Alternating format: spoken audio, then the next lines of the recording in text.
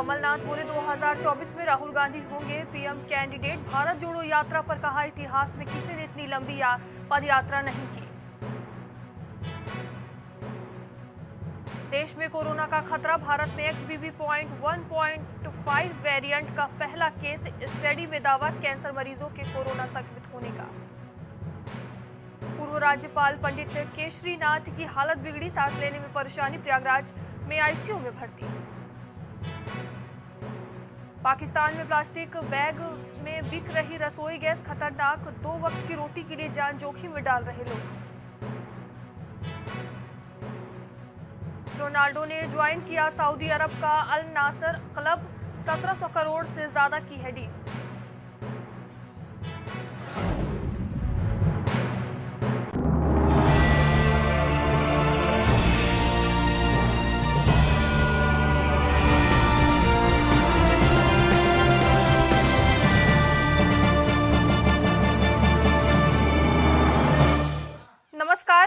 मयूरी श्रीवास्तव आप देख रहे हैं। प्राइम टीवी वक्त हो गया उत्तर प्रदेश की बड़ी खबरों का।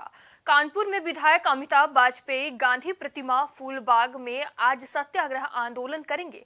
जानकारी के मुताबिक 24 घंटे के लिए सत्याग्रह आंदोलन करेंगे। बता दें कि 31 दिसंबर को दोपहर 12 बजे से प्रारंभ होकर एक जनवरी 2023 दोपहर 12 बजे आंदोलन समाप्त होगा। इस सत्याग्रह में पार्टी के कई नेता और कार्यकर्ता शामिल होंगे को जानकारी होगा कि कल 31 दिसंबर 2022 जो साल का आखिरी दिन है, दोपहर 12 बजे से हम लोग एक समाजवादी सत्याग्रह करने जा रहे हैं, जो 24 घंटे चलेगा, और एक जनवरी 2023 को दोपहर 12 बजे ही समाप्त होगा।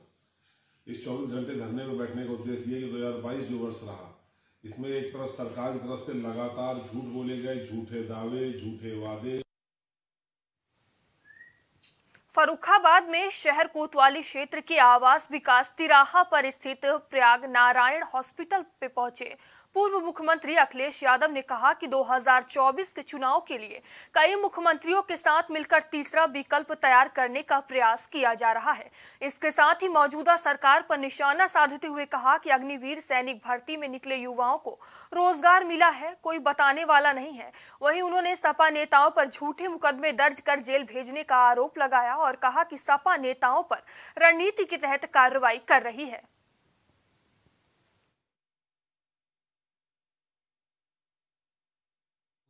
हुआ और जब तक समाजवादी सरकार नहीं बनती है, लगातार समाजवादियों की मांग रहेगी कि आगरा लखनऊ एक्सप्रेस वे से और आपके दूसरे एक्सप्रेस को जोड़ा जाए। मुझे याद है, जिस समय चीन का सवाल खड़ा हुआ था, ले लद्दाख में जो चीन की घुसपैठ हुई थी, उसके बाद प्रधानमंत्री जी ने सुझाव मांगे थे कि आप क्या क्या सुझाव देना चाहते हो।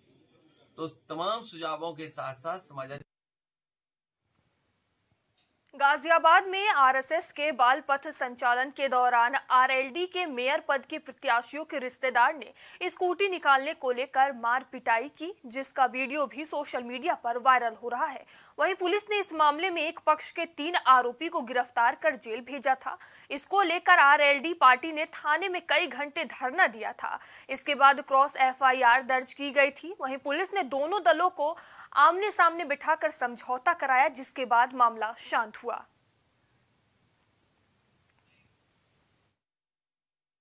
करनी पड़ी दबाव किसी का नहीं था। हाँ इधर ही फेस कर रहा हूँ? दबाव किसी का नहीं था। दोनों तरफ़ झगड़ा हुआ दोनों तरफ़ चोट लगी दोनों तरफ़ चोट लगी दोनों ने अपनी एप्लीकेशन दी। दोनों पुलिस ने चढ़ा। किसी का कोई दबाव नहीं। मतलब एक तरफ़ है एक बात वही आ गई। एक मतलब आप मानते हैं कि दोनों तरफ़ से गलती हुई थी? हाँ हाँ। दोनों तरफ़ से गलती हाँ हुई थी। दोनों तरफ़ से गलती हुई थी जब तो झगड़ा बनता है। झगड़े को उसका रूप चेंज करने का काम किया जा रहा है। यानी कि आप पाँच बार कह सकते हैं कुछ लोगों कौन है कुछ लोग? वो कुछ लोग कौन है जो मूल झगड़े की वजह थे या जो हवा दे रहे हैं राजनीतिक लोग कुछ कौन? आप भी जानते हैं शहर में आपसे ज़्यादा कौन जानता है? आप ही बता दीजिए आप आपसे ज़्यादा कौन जानता है? पाँच लोग कह रहे हैं आप ही लोग रोज़ाना दिखा रहे हैं ना? आप ही लोग रोज़ाना छाप रहे हैं? आपसे ज़्यादा कौन जानता है? औरैया ज़िले से है, जहाँ नव वर्ष को लेकर प्रशासन काफ़ी अलर्ट दिखाई दे रहा है। एसडीएम लवगीत कौर, सीओ महेंद्र प्रताप सिंह ने भारी पुलिस बल के साथ एयर व कटरा एवं बिधुना में पैदल गश्त किया। इस दौरान सीओ महेंद्र प्रताप सिंह ने लोगों से अपील की कि नशे के सेवन करके गाड़ी ना चलाएँ। वहीं बिधुना में एसडीएम लवगीत कौर ने शराब ठेकों पर जाकर स्टॉक रजिस्टर को चेक किया और स्टॉक मेंटेन करने की बात कही। एवं प्रमुख मार्गों पर मेरे द्वारा एवं विधुना थाना की कोर्ट के द्वारा एस के द्वारा लोगों में शांत सुरक्षा एवं विश्वास की भावना रखने के लिए पैदल गश्त किया गया तथा प्रमुख व्यापारी वर्ग एवं अन्य प्रबुद्ध लोगों से मिलकर के वार्ता किया गया तथा लोगों को इस संबंध में अवगत कराया गया। कोई नशे का सेवन करके वाहन न चलाए। स्कूल में भी जाकर के हम लोगों में, हम एस संभल में आगामी नववर्ष पर पुलिस अधीक्षक चक्रेश मिश्र ने रूट मार्च किया। इस दौरान आम जन के से शांति व्यवस्था बनाए रखने की अपील की। वहीं यातायात नियमों का पालन करने और शराब पीकर गाड़ी ना चलाने के निर्देश दिए और शांति व्यवस्था के साथ नया साल मनाने की अपील की। साथ ही कहा कि यदि शांति व्यवस्था भंग की आशंका होती है तो पुलिस के द्वारा कार्रवाई की जाएगी और सभी जनपद वासियों को नए साल की शुभकामनाएँ दी। आप सभी को अंग्रेज़ी नववर्ष की शुभकामना प्रेषित करती है। साथ में आमजन को यह भी जानकारी देनी है कि 31 दिसंबर व 1 जनवरी को संभल जनपद की पुलिस के द्वारा विशेष अभियान चलाया जाएगा, जिसमें शराब पीकर गाड़ी चलाने वाले, पार्टी करके हुड़दंग करने वाले अथवा नियत सीमा और समय के अतिरिक्त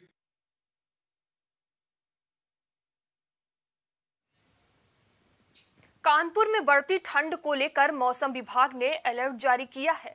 जानकारी के मुताबिक कानपुर में प्रमुख चौराहों पर ठंड से बचने के लिए अलाव की व्यवस्था नहीं की गई, जिससे लोगों को परेशानियों का सामना करना पड़ रहा है। शहर के इलाकों में सुबह सवेरे घने कोहरे की वजह से विजिबिलिटी कम रहती है, जिससे सड़कों पर वाहनों का आवागमन कम हो गया है। बता दें कि सिर्फ़ कानपुर ही नहीं, बल्कि उत्तर भारत के कई इलाकों में ठंड का असर दिखाई दे रहा है। ठंड का प्रकोप लगातार जारी है। उसके बाद कहीं ना कहीं देखा जाए तो पूरी तरीके से जो कानपुर के जो नगर निगम है और जो कानपुर जिला प्रशासन है, अभी भी देखा है तो कहीं ना कहीं सूबे के मुख्यमंत्री के आदेशों के बाद भी अगर देखा जाए तो कहीं ना कहीं किसी प्रमुख चौराहों में, कानपुर में अभी भी किसी प्रकार के अलाव की व्यवस्था नहीं की गई है। और बात रही रहन बसेरे की, उसमें अगर रहन बसेरे में व्यवस्था की भी गई है पूरी तरीके से, पर अगर देखा है तो कहीं ना कहीं जो रहन बसेरे में जो लोग रुक रहे हैं, ठहर रहे हैं, अभी उनकी किसी प्रकार की जो है वो दवाइयों की व्यवस्था नहीं की गई है। क्योंकि रहन बसेरे में हर तरह का आदमी आता है, हर तरह का आदमी रुकता है, उसके बाद कहीं ना कहीं देखा जाए तो उसकी मेडिसिन की व्यवस्था नहीं है। और डॉक्टरी उपचार की बात रही तो डॉक्टर को साफ़ कहना है कि ठंड से जो हार्ट के पेशेंट और अस्थमा के पेशेंट जो मरीज़ हैं, वो पूरी तरीके से अपने आप को सुरक्षित महसूस कर, घर पर रहें, ज़रूरत हिसाब से बाहर निकले। और एक बात, कर कोरोना को लेकर बहुत बड़ी महामारी दोबारा आई है फिर सरकार ने अपील भी की लोगों से कि देखा जाए कहीं ना कहीं मास्क पहन के चलें, और जो भी कम से कम ज़रूरतमंद जो हों, उनसे कम से कम लोग संपर्क करें। और जो और उसके बाद कहीं ना कहीं देखा जाए तो जो कानपुर को पूरी तरह ठंड का कहर दिख रहा है, वो पूरी तरीके देखिए, अपना कहना सागर करना चाहूँगा, दिखाए किस तरीके से पीछे जो है, वो पूरी जो गाड़ियाँ आ रही हैं, उनकी खुद की विजिबिलिटी जो है, वो विजिबिलिटी पूरी तरीके से दिख नहीं रही है। और उसके बाद कहीं ना कहीं देखिए, गाड़ी की लाइट जो आ रही है, वो लाइटों से समझ में आ रहा है साफ़ समझ में आ रहा है वीडियो से कि जो ठंड का जो कहर लगातार कानपुर में जारी है और जो ल- जो गाड़ी ड्राइव कर रहे हैं, उनकी विजिबिलिटी जो है, वो पूरी तरीके से बिल्कुल लगभग देखा तो दस से बारह फुट पे चल रही है। पर और उसका जिला प्रशासन साफ़ अलर्ट कर रखा है और उसको लेकर जो कि ठंड में जो है, मरीज़ जो हैं, उनको लेकर के और उसके बाद जो नगर निगम है और जिला प्रशासन, उनको आदेश के बावजूद भी अभी भी किसी प्रकार की व्यवस्था प्रमुख चौराहे पर नहीं की गई है। कैमरा पर्सन सागर साथ उपेंद्र स्थाना कानपुर। रायबरेली में नए साल को लेकर कानून व्यवस्था को दुरुस्त रखने और हुड़दंगियों को से निपटने के लिए जिला प्रशासन ने कमर कस ली है। शासन के निर्देश के बाद देर शाम डीएम माला श्रीवास्तव और एसपी आलोक प्रियदर्शी सड़क पर उतरे और शहर के डिग्री कॉलेज चौराहे से लेकर घंटा घर तक पैदल मार्च किया। इससे पहले शहर के डिग्री कॉलेज चौराहे पर शराबी वाहन चालकों की ब्रेथ एनालाइजर से जाँच की गई। डीएम माला श्रीवास्तव ने लोगों से अपील करते हुए कहा कि लोग नियम कानून के दायरे में रहकर नए साल का जश्न मनाएँ।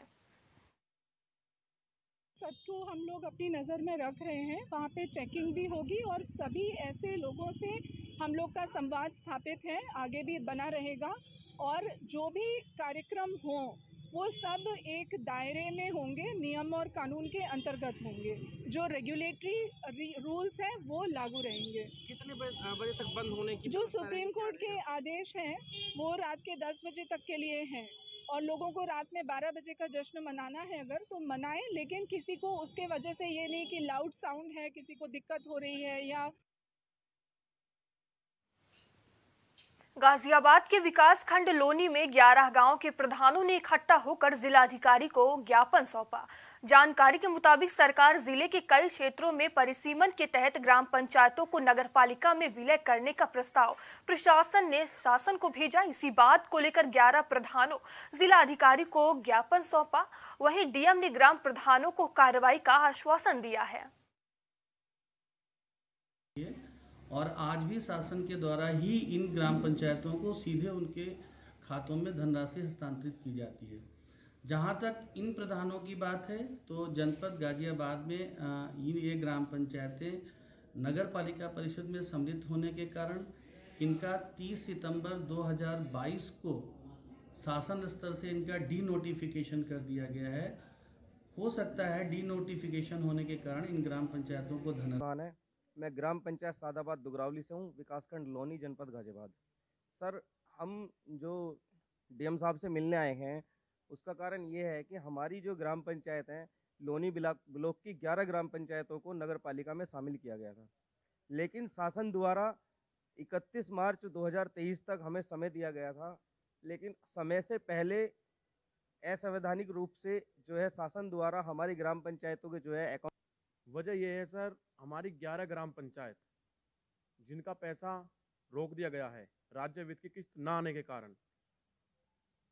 हम चाहते हैं कि ये किस्त सरकार हमें दें और हमारे विकास कार्य हो, जिससे कि हमारी सफ़ाई, सभी विकास कार्य रुके हुए हैं, जो जल्द से जल्द किस्त भिजवाएँ और हमारे विकास कार्य चालू हों। रायबरेली में लालगंज के नरपतगंज पुलिस चौकी पर चौकी इंचार्ज ने एक प्रेमी जोड़े की शादी करवाई। जानकारी के मुताबिक इस अनोखी शादी में पुलिस कर्मियों ने मिठाई बांटकर खुशी ज़ाहिर की और प्रेमी जोड़े को आशीर्वाद भी दिया। बता दें कि नरपतगंज चौकी में क्षेत्र के गुमदापुर गाँव निवासी युवती का लंबे समय से बटुआ गाँव के युवक के साथ प्रेम प्रसंग चल रहा था।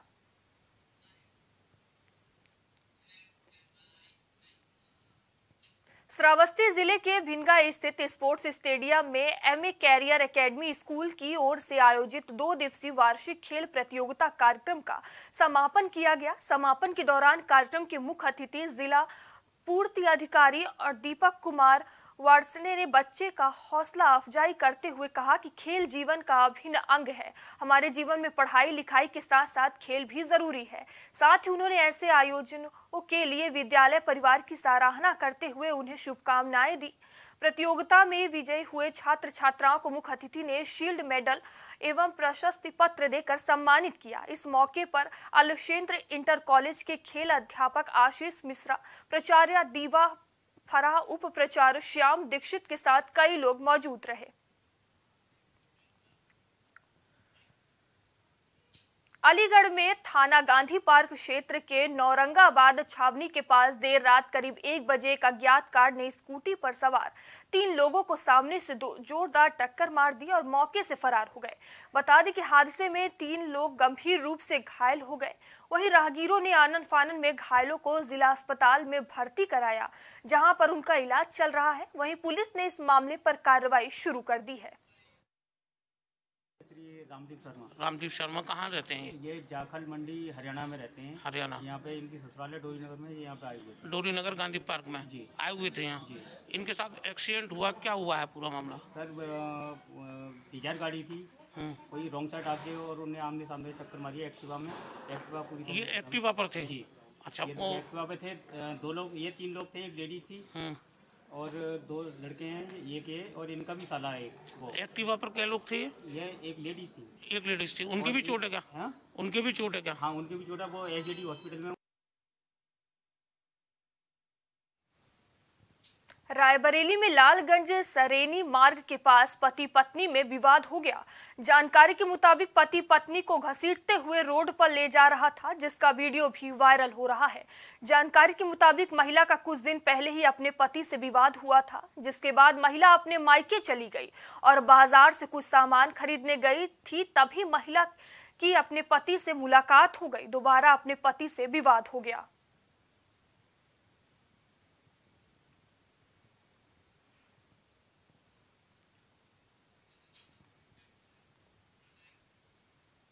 उत्तर प्रदेश की खबरों में इतना ही। देश दुनिया की तमाम खबरों के लिए बने रहिए प्राइम टीवी के साथ।